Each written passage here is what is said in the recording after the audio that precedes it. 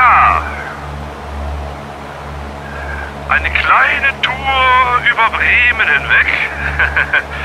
Ihr seht, es hat mich gepackt. Ich musste auf 21 zu 9 umsteigen.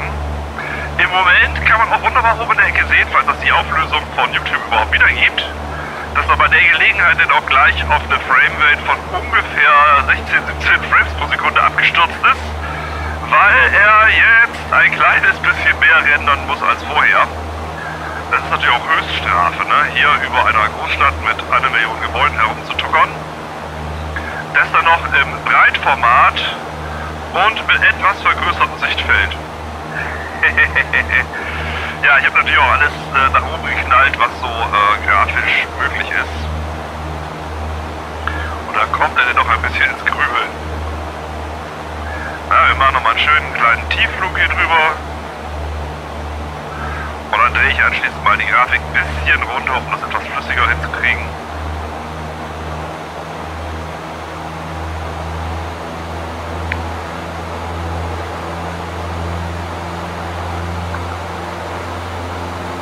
Ja, Headchecking hilft natürlich nicht gerade, wenn es flüssig sein soll, weil jede Kopfbewegung natürlich eine Milliarde neue Berechnungen zur Folge hat. Aber der Monitor ist echt so breit, mir wird schwindelig, wenn ich den Kopf zu schnell drehe. Das ist schon mal geil.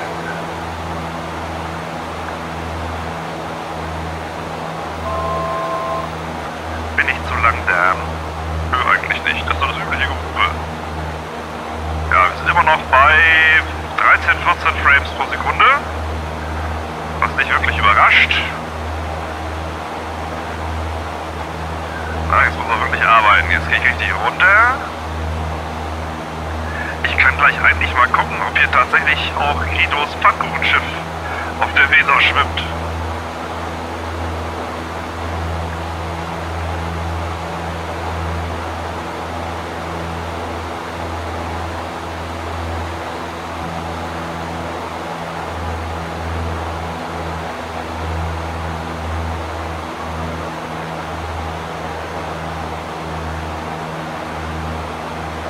Dann gucken wir mal Weser.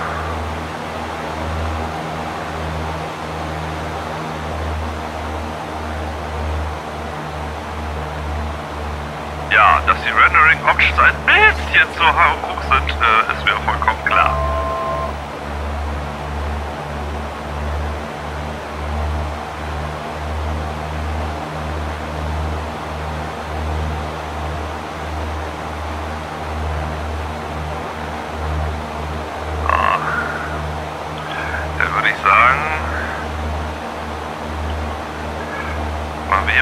Pause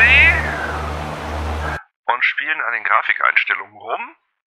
Was habe ich denn? Die Kantenglättung, Detailgrad der Reflexionen. Ich glaube, das alleine ist schon. Ich mache erstmal alles ein weniger. Ups. So. Anzahl. Ich glaube, die Anzahl würde ich gerne hochlassen, weil da sind nämlich auch die Straßen wirklich ausgefüllt. Visuelle Effekte. Ein weniger, den ein weniger und den auch ein weniger. Dann gucke ich mal. Zum Übernehmen der Option müssen Sie X-Plan 3 neu starten. Das werde ich jetzt ganz bestimmt nicht tun. Äh, horizontales Sichtfeld. Bla bla bla. Okay.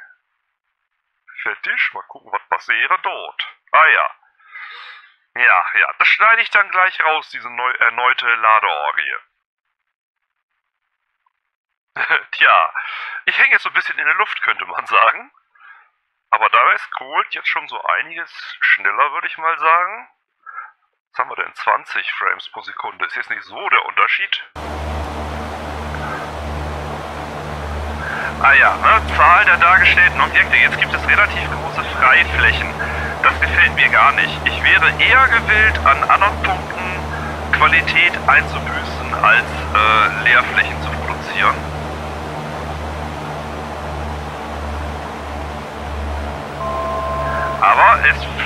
alles schon ein bisschen besser, das muss man wirklich sagen.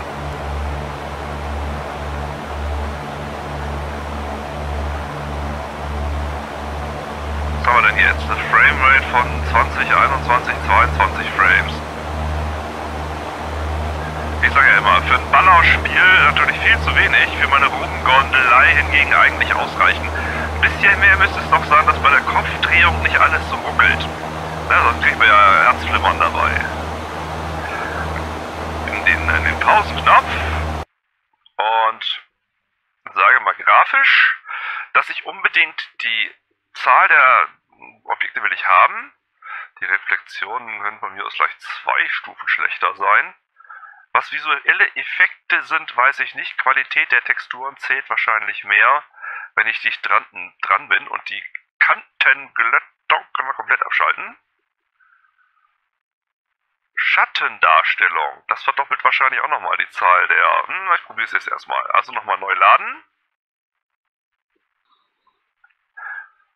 So, jetzt haben wir volle Zahl der Objekte. Dafür die Kantenglättung fast rausgedreht. Wir haben jetzt 24, 25 Frames. Dann schauen wir doch mal, wie sich das jetzt alles ansieht hier. Ich sehe aber immer noch Freiflächen. Oder sind das echte Freiflächen? Gehen wir mal in eine Stadt rein, dann werden wir es genau wissen. Ja, also in der Innenstadt gibt es scheinbar keine Freiflächen, dann passt das ja auch.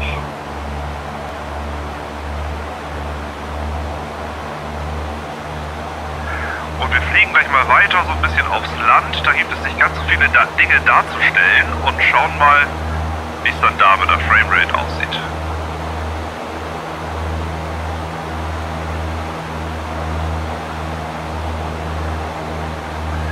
Die Auflösung ist jetzt 2560 mal 1080p. Also in der Höhe hat sich nichts getan, es geht echt nur in die Breite. Ja, das wird der Güterbahnhof sein in Bremen. Falle. Ah, die Autobahn. Die A27. Da habt ihr mich auf meinen Klapper-Videos öfter gesehen, und zwar genau auf diesem Abschnitt.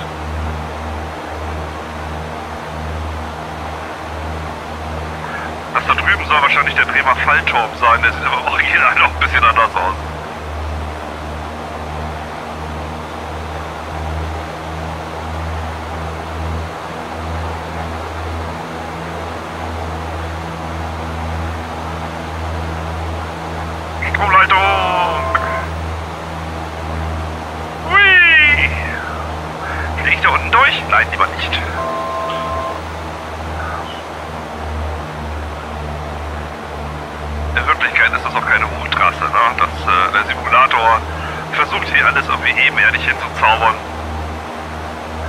wir wollten über Land fliegen.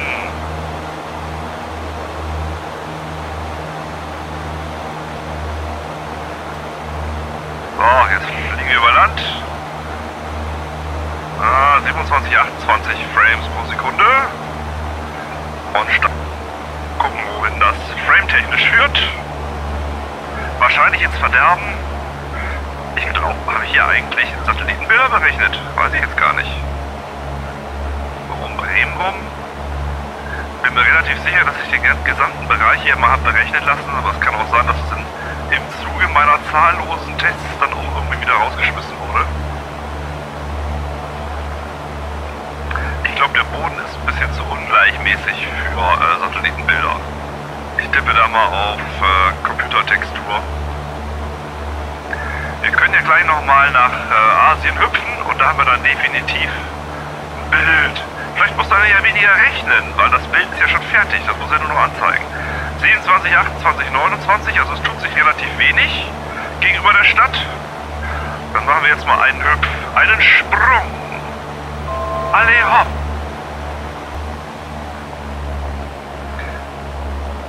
Tja, das ist jetzt ja interessant. Jetzt fliege ich gerade mal wieder über Bangkok. Ähm, mit Satellitenbildern, habe sonst nichts an den Einstellungen verändert und habe 45, 46, 47 Frames pro Sekunde. Das heißt, diese ganze Satellitenbildgeschichte äh, ist nicht nur hübscher, das ist auch noch der Geschwindigkeit deutlich zuträglich.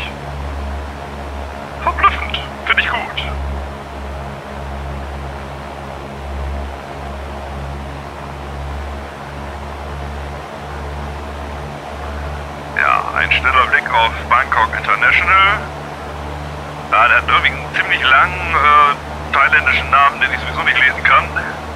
Hey.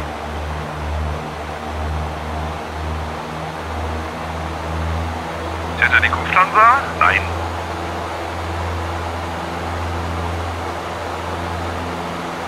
Wir haben auf Dach landen.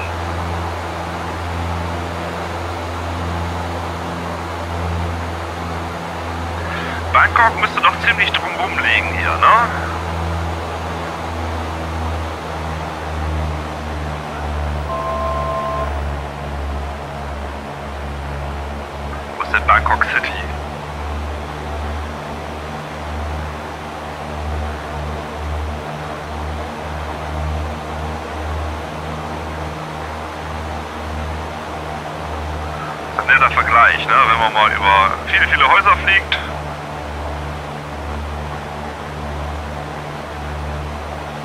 Wo ist denn die Innenstadt? Haben sie die wegmontiert, seit ich das letzte Mal geflogen bin? Scheint so.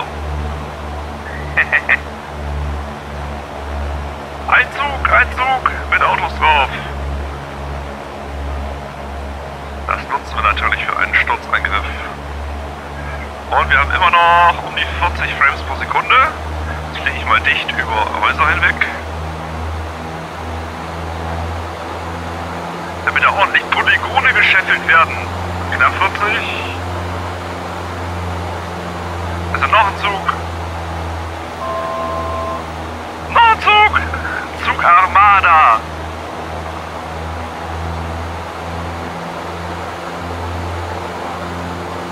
Ah, Wettrennen. Ein Güterzug auf dem Weg zum Flughafen.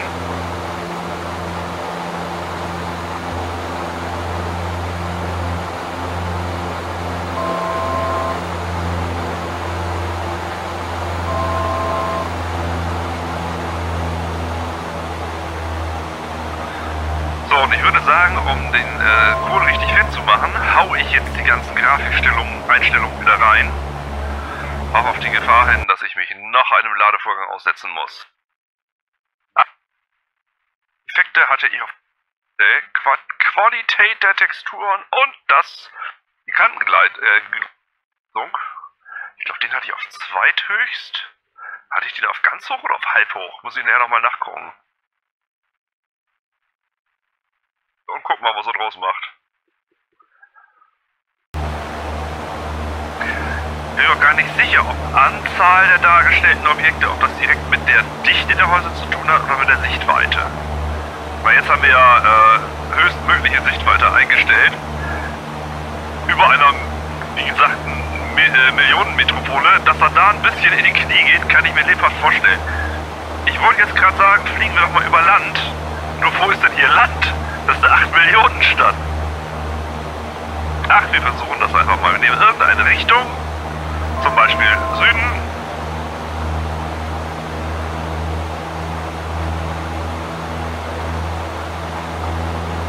So. Da würde ich sagen, nutze ich auch ganz frech den Autopiloten. Und sage mal, was haben wir denn jetzt überhaupt hier?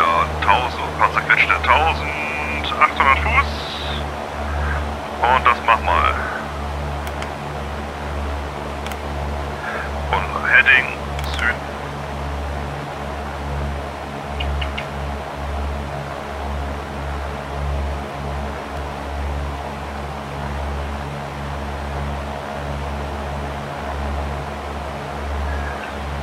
Ja, Heading muss ich noch einstellen. So.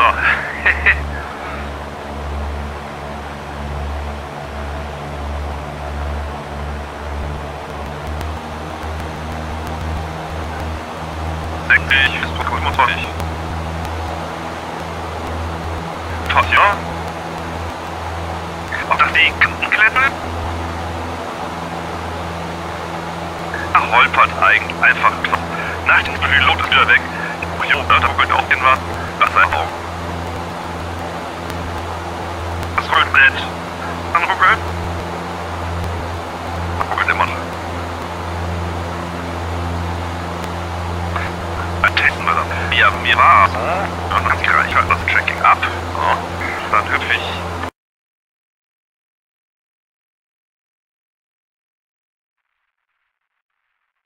Test.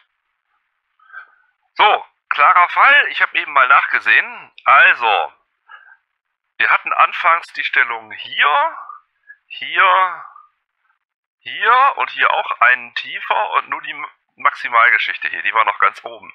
Wenn wir das jetzt mal versuchen. Aha, das geht auch sofort ohne Reboot. Oh, und schwupps! Schon sind wir auch wieder fast 40 Frames pro Sekunde. Na also.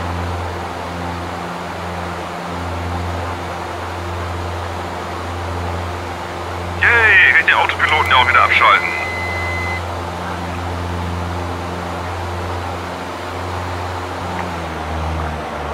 Ah! Katapult. Jetzt wollte ich coolen, äh, eine Rolle hinlegen. Ja, ich hab's verstanden. Äh, was runterrieseln sehen da. Menno, jetzt habe ich im Tran den falschen Knopf gedrückt. Blöd, ey. Ah, siehst du, geht doch. Ja, na, sieht wieder aus wie Schrebergärten hier. So ein äh, Schleudersitzknopf ist schon praktisch, vor allem bei meinem Flugstil. Also, wir haben wieder 40 Frames pro Sekunde bei praktisch gleicher Auflösung. Tipp an alle, die also ein Problem mit ihrer Framerate haben und noch nicht, äh, mit Explain und noch nicht Auto 4XP installiert haben und sprich Satellitenbilder statt der Texturen verwenden, sollten sich das ernsthaft mal überlegen. Es bringt eine, fast eine Verdopplung der Framerate. Finde ich toll. So, ich glaube, das reicht auch. Genug gekaspert. Und danke fürs Reingucken und äh, yay, ich sehe jetzt alles in total breit. Ich habe allerdings eben schon gesehen, dass, ähm, okay, jetzt parallel zu X-Plane das Abspielen im Zoom-Player schon gar nicht so einfach war. Da kam man so ein bisschen ins Schleudern. Wir können das mal eben ausprobieren, ob das jetzt äh, live trotzdem funktioniert. Nämlich der hier. Okay, das sieht gut aus. Ja, alles gut, alles gut.